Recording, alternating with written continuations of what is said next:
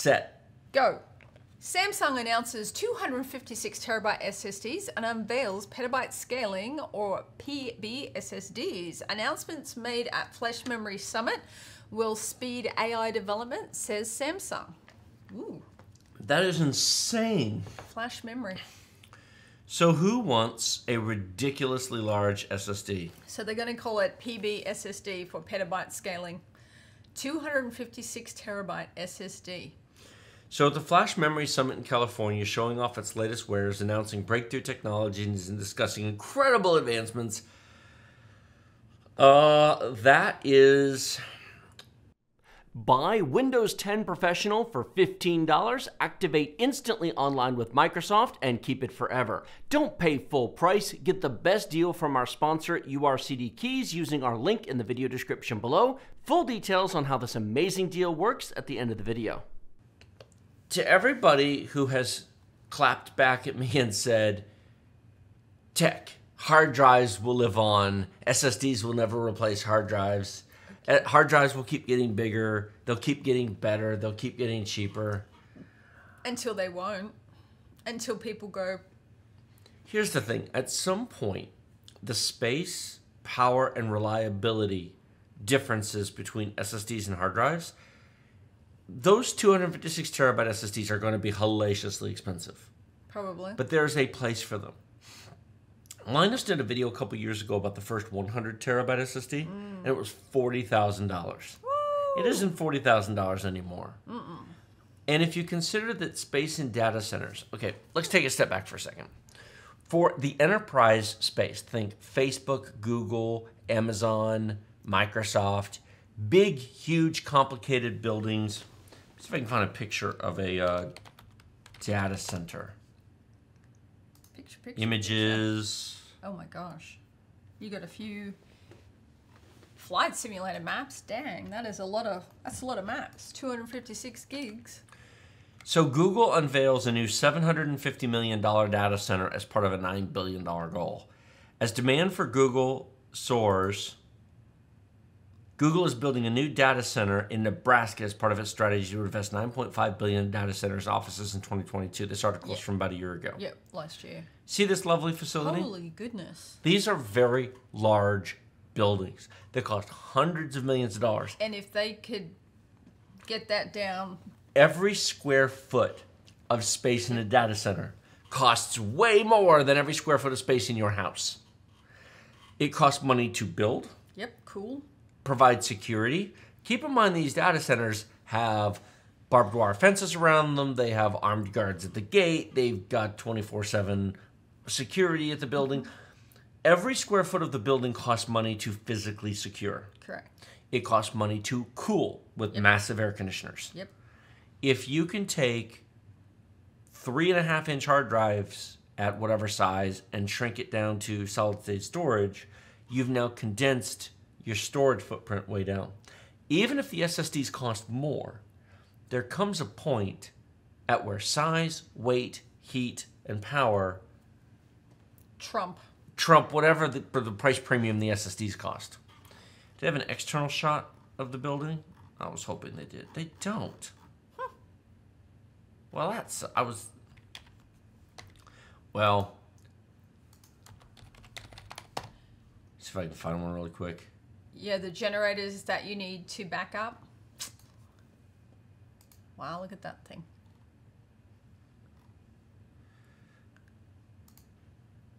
This is in Northern Virginia, although that's a stock photo. I don't want to do that. Yeah. I'll get one, darn it.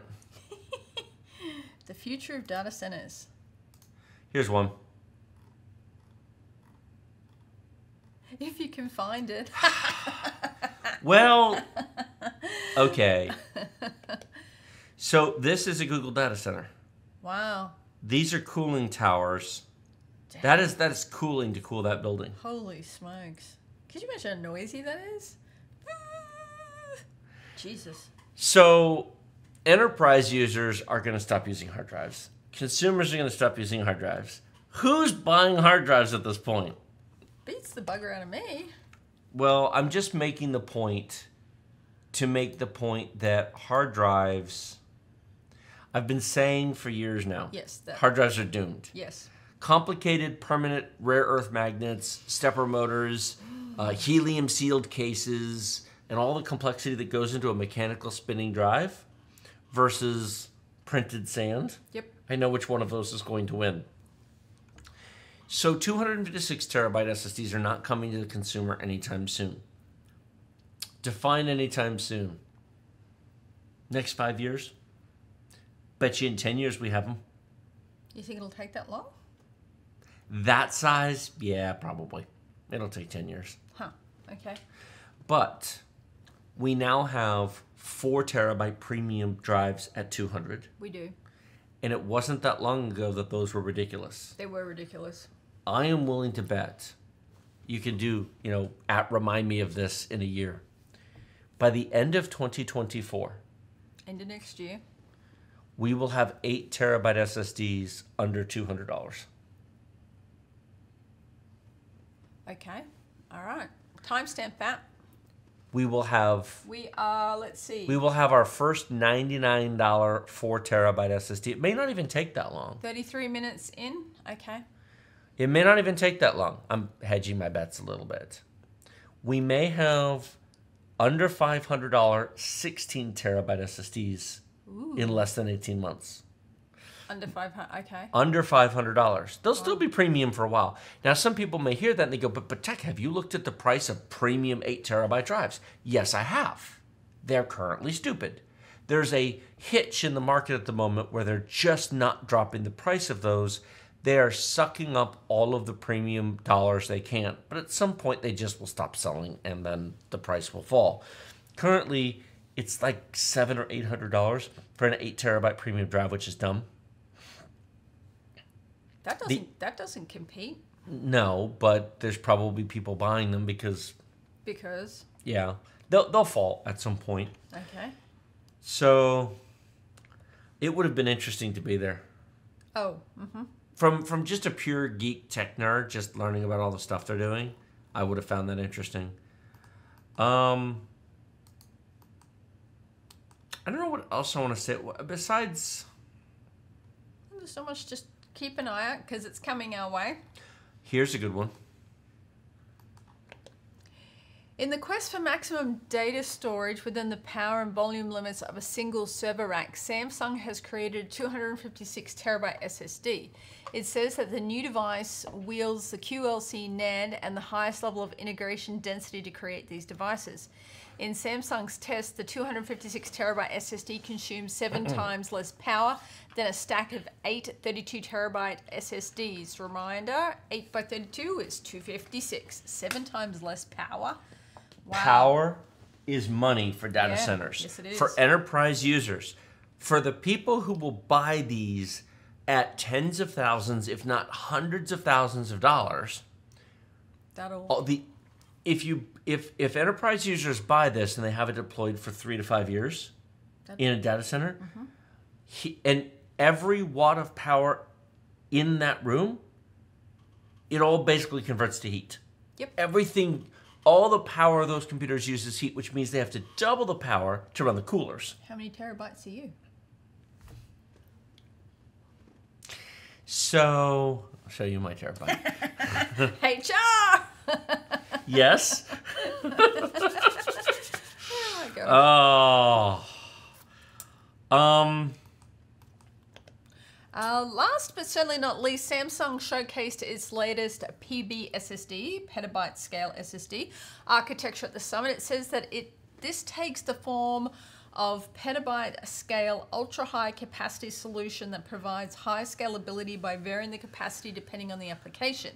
With such a great capacity in a single device, Samsung and partners like Meta are aiming to make PBSSD multi-user friendly. It says the platform made use of technology called flexible data placement, which has been ratified in NVMe. Uh, FDP is a way of optimizing data placement for increased predictability and performance in real world hyperscale workloads. The software behind FDP is completely open source.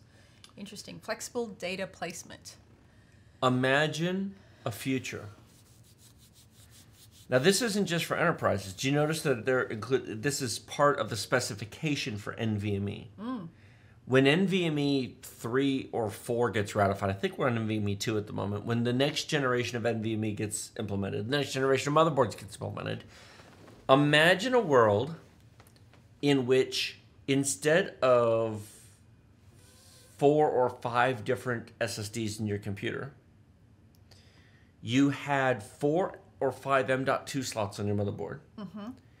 And you could set them up as a virtual drive in Windows, which in five or 10 years might very well be actually Linux with Windows Shell on top because. I, I that's another prediction that I've made. At some point, Microsoft's going to ditch the NT kernel and go to go to Linux. Yep. Because Linux is you've said that superior. Um, imagine that you just have storage. And you can add storage, and where the data is written across various SSDs doesn't matter. And you can tell Windows, I want redundancy. But imagine you could do RAID 1 or redundancy Yeah, yeah, yeah. at the folder level instead of drive level. You don't necessarily need Windows or programs, No, yeah, you can be very specific. but you what want your My Documents folder to be RAID 1 So you can right click on your My Documents folder, duplicate, and it makes sure internally that two copies of that data are stored, stored. on two different storage devices within your PC. That how confusing is it for people to have four or five different drives in their computer? Where where did I download this game to? Yep. Where's my download folder? Where's this folder? Now I know we have more of a tech enthusiast audience. Many of you may go, Well, I like having my different drives. I can organize my files. I don't need help with that. But with SSDs, you got to leave a little bit free on each one of them. And then you get, okay, well. I'm going to put Blizzard on my D drive and Steam on my E drive and EA Play on my G drive and OneDrive on my H drive. And But then you don't have any flexibility where, oh, I want to download three or four more games. Oh, well, now I'll put some of them over here and I'll put some And here. like, but imagine you just had a block of space. Then you let Windows deal with it. That'd be cool. Once upon a time, we used to manage our memory manually as well. I remember doing with HIMEM.SYS and putting uh, terminate and stay resident programs in DOS into upper memory manually before MemMaker came out in. Uh, well, I had QEMM because doing it manually in, when, in DOS 5 sucked. You could sort of do it. Sounds complicated. We used to do that. Then we used to set up expanded and extended memory, uh, EMS and XMS manually in the config sys and autoexec bat files. No, Windows just handles it. You don't care where your stuff is stored in memory, do you? No. Okay. What if we did that to storage? Makes sense, doesn't it? Now, I am not saying this is guaranteed to happen. I'm saying it is possible. Possible. They are creating it as an open source solution to be added to the overall NVMe standard. It's interesting. I, but that's probably a five year thing. That's a ways off. Okay. But it's interesting. All right. Next article. Um, there was a comment in chat I want to address, and it's a fair comment. Looking for a Windows 10 or 11 product key, but you don't want to spend 100 to $200 for it? Our sponsor, URCD Keys, provides discounted Windows keys at amazing prices. $15 for Windows 10 Professional, $21 for Windows 11 Professional, and just $60 for Microsoft Office 2021 Professional Plus. These product keys are the real deal. They activate directly with Microsoft Online, link to your Microsoft account, and they work forever. For Windows, you simply go to Settings, Update and Security, Activation, click Change Product Key, paste the key provided by URCD Keys, and in seconds you're activated with Microsoft. For Office, go to setup.office.com, sign in with your Microsoft account, paste the product key provided by URCD Keys, and then download Office 2021 Pro Plus directly from Microsoft. Remember to use the discount code TD20 to save 25% off the already deeply discounted prices and support our channel at the same time. We have been using product keys from URCD Keys for almost five years now without any issues and encourage you to do so as well. Or was it? Nathaniel says people that still need hard drives of video surveillance systems with a lot of cameras, home security systems, movie backups, game backups. You can't fit all of that on SSD. Challenge accepted. My now I am not typical, but my new gaming PC at home has 18 terabytes of SSD space in it. And that used to be expensive. It did. It is not anymore. Nope. It's not cheap, but it's really not that much, all things considered. Now, how many movie backups and camera footage do you have? I mean, camera surveillance doesn't actually use that much storage. It does, but it doesn't. It is true that for the moment, hard drives make sense for those applications. For a hot minute. On Prime Day, 8 terabyte Samsung 870 uh, QVOs worth 300 bucks. Wow. Now that's a QLC drive. It's relatively low performance, um, but 300 bucks for 8 terabytes is pretty cheap. That is very You true. can currently, right this second, buy a 4 terabyte um, Leven JS600 drive, you. DRAMless QLC. It's very budget budget neutral, but you know it for video. It's fine for 135 dollars. Wow. So I'm willing to bet that quite a few video applications could. Fit. I mean, you could just buy between two to four of those And and have all the storage most people would ever need. Yep. How's that going to work when Windows Storage does a whole 64 terabyte weird thing? They're going to have to change that 64 terabyte. Or whatever. Oh, you mean. Windows Storage Spaces? Yeah. Windows Storage Spaces is weird. They'll need to come up with something new to handle um, Because how would you ever? the the storage architecture design of Windows will need to be updated. They'll need to update it so that you can, for example, specify.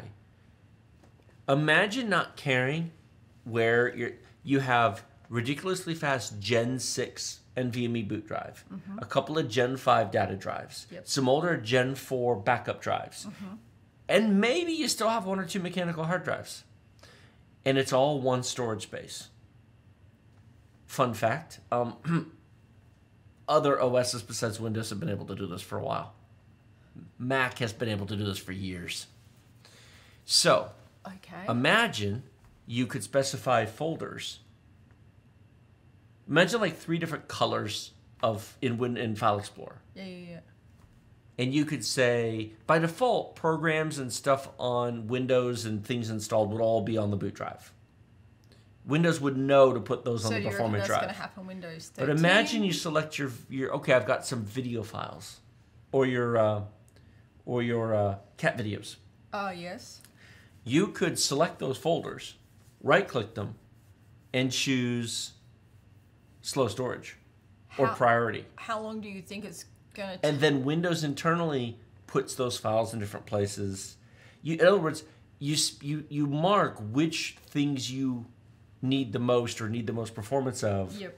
without having to individually manage moving stuff around. You let Windows do it all in the background. How long do you reckon it's going to take before that becomes a thing? Windows 13, Windows 14. Five to ten years. Wow, it's to take that long. Have you met Microsoft? Yeah, they don't move very fast. You want to know what would make Microsoft move fast? Competition. Look at what Intel has done because of AMD. That's true. Thank you, AMD, for kicking Intel in the kushnizzle.